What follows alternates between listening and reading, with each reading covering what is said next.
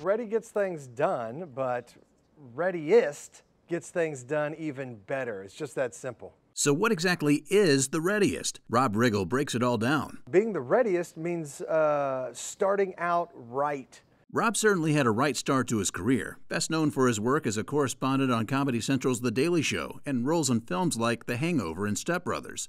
His busy schedule is getting even busier. I've got some movies coming out um, this uh, this fall and winter that I'm excited about, and um, uh, I'm going to be back on Fox NFL picking games with the uh, with the pregame crew there. Rob is ready for it all. In fact, he has teamed up with Holiday Inn Express to become the champion of the readiest. He says the company makes it possible for everyone to be on top of their game on the road. Talk about tackling the day. If you start out right, you get your free breakfast, you get your information, you go out the door, you're going to conquer the world. For more information, visit holidayinnexpress.com.